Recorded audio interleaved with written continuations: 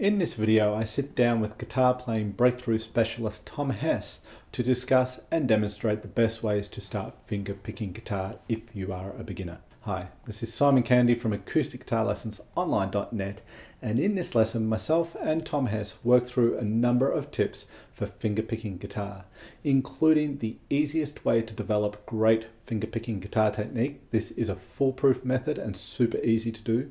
The common mistakes most people make when first beginning to fingerpick guitar, and the best ways to practice fingerpicking guitar for maximum gains. Watch until the end of the video to learn how you can take your fingerpicking to the next level. Let's get into it. How, how do you deal with uh, people in that situation, students, for example, or, or people that you've helped, uh, who are not beginners as players generally, but then they they go to do some finger picking and they've got no skills in the in the picking hand. You know what? How do you just coach them along to get them going beyond the technical aspect of it?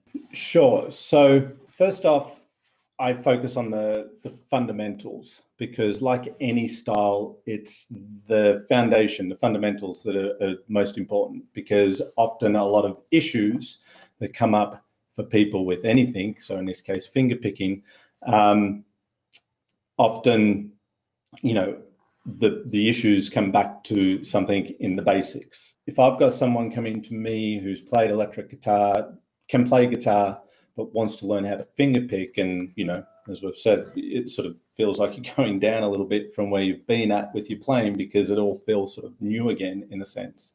Um, I would start with with the hand position because I see people get that wrong all the time, and you know anything that comes as a result of that um, is is never going to really get fixed, and is going to continue to feel awkward, and you know all this excess tension and things will be coming through if we don't sort of sort out some of the basics. So I would start with the, the finger picking hand. And there's one particular way that is really good and basically will guarantee you get your hand in the right position. And it's very simple. And it's because with your with your finger picking, you're going to use your thumb, your index, your middle, and your ring fingers. What I get people to do is to get the three fingers and the thumb of the picking hand and to place them all on the third string of the guitar. So you've got your three fingers, one, two, and three, index, middle, ring, all resting on that third string, the G, and your thumb is also resting on the string. And for the thumb to be on the string at the same time as the other three fingers, it's got to be in front of the the index finger and and the other three fingers, and that's that's crucial in terms of getting the right position for the finger picking hand. And in fact, once you've done that, your hand is pretty much in the right position all you've got to do is take your thumb and move it to the bottom string and just rest it lightly on string six. The index can stay where it is on the third string. The middle finger can move up to the second string, and you and your ring finger can come up to the first string. So you end up with the thumb on string six, index string three, middle string two, ring finger is on the first string. Your hand, when you look down at it from your viewpoint, you'll see your thumb is basically crossing over the index finger. So there's like a cross, if you like, or a little X formation when you look down with your thumb and your finger and your index finger, sorry. So a lot of the time people sort of just go to try and pluck the strings, they'll tip, and particularly if they've played before, they'll just go at it from a flat pick position. And so this puts the fingers at awkward angles to the strings and the thumb's behind the index finger and they're trying to sort of pick like this, and it's very awkward, and it's it's never really going to work out too well. Your thumb is nice and straight too, by the way. You you don't want to bend that thumb. That sort of weakens the thumb. You want to keep that thumb pretty much locked in place all the time. What are common um, mistakes, I guess, or common problems that that people run into if they're sort of new to finger picking or they're not that experienced? What are some of the common mistakes that people make when trying to learn and master finger picking when they don't yet have much experience?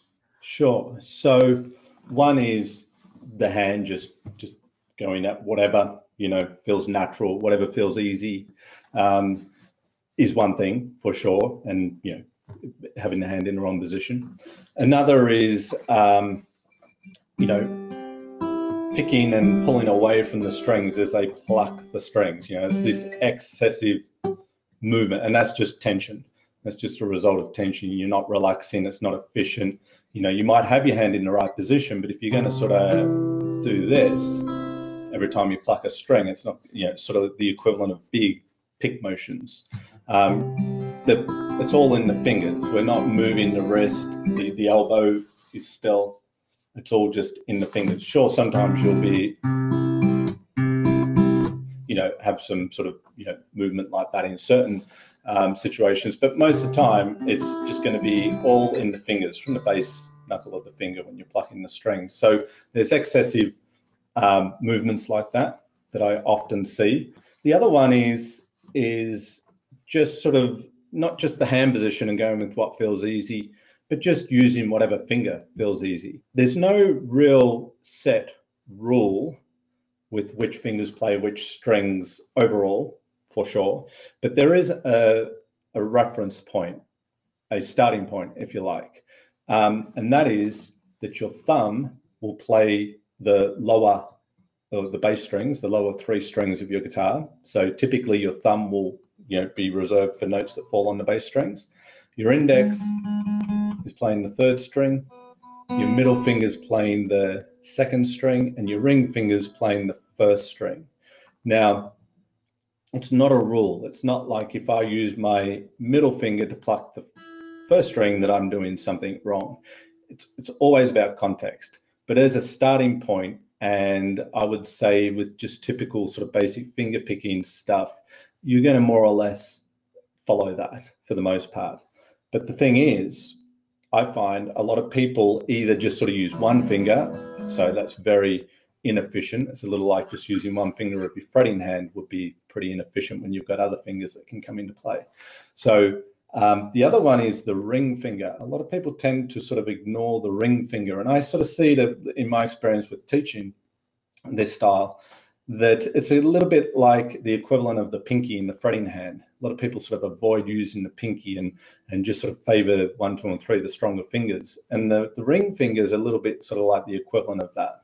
And so people find the index and middle fingers are a little bit more comfortable to use. They got the thumb. You can sound great playing like that. There's some great players who don't use the, the ring finger so much, but I mean, it's there. Why not use it? There's a lot more that you can do with it. And um, the thing is, with your fingers, they each have a different tone.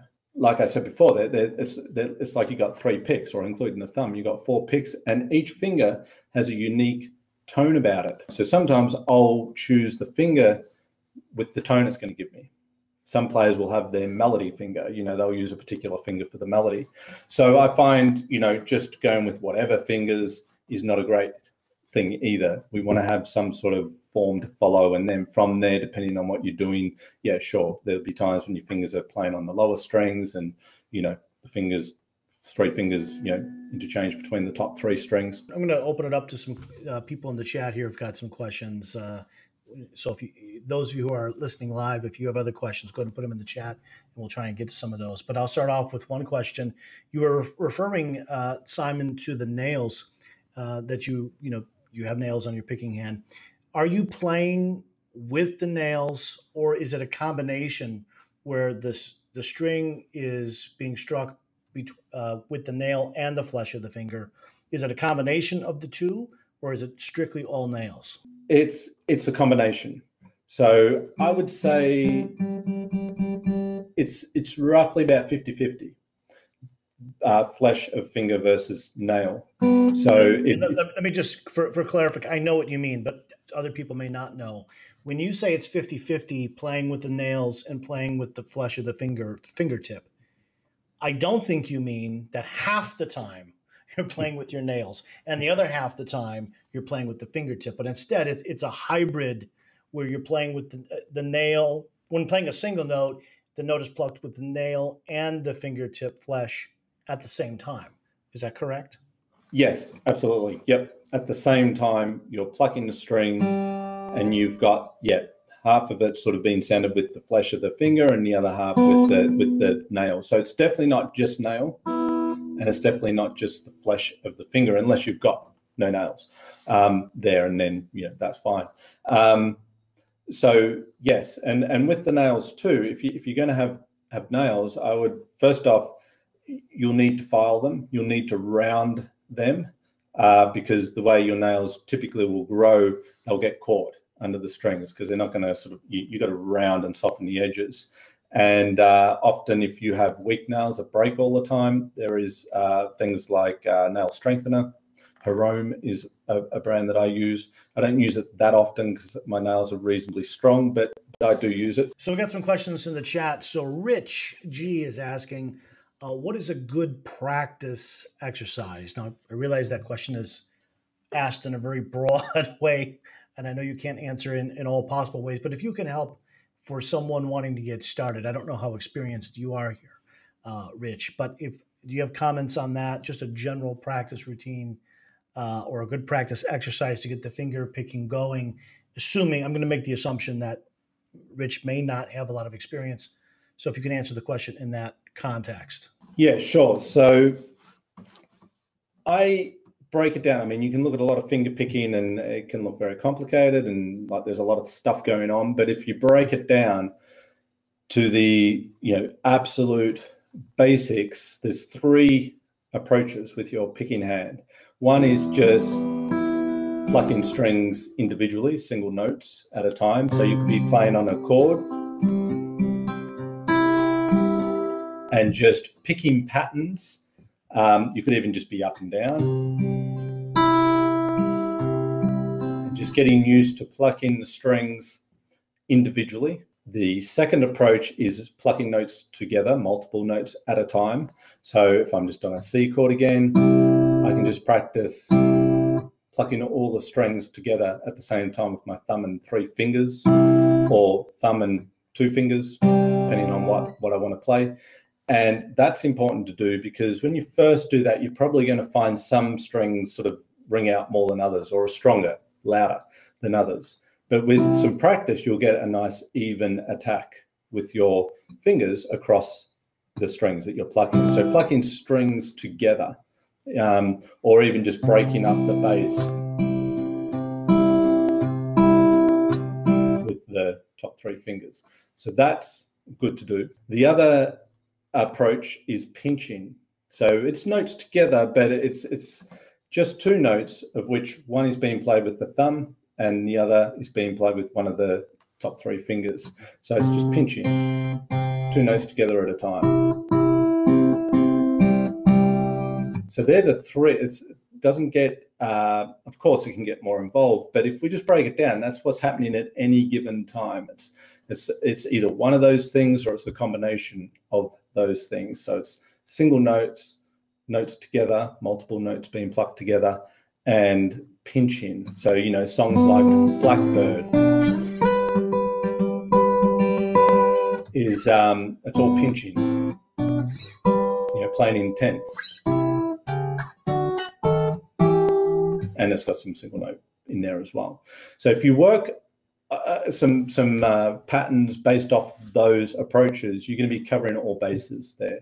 If you would like help with your finger picking, the kind of help that gets you results in the most direct, efficient, fun way possible, then check out the Ultimate Fingerpicking Guitar course, a complete system for fingerpicking acoustic guitar, so simple even a beginner can learn it. I've carefully designed this course to do all the heavy lifting for you as far as knowing exactly what to do, how to do it, and when to do it in regard to mastering the art of fingerpicking guitar. All you have to do is follow the pathway I've laid out for you.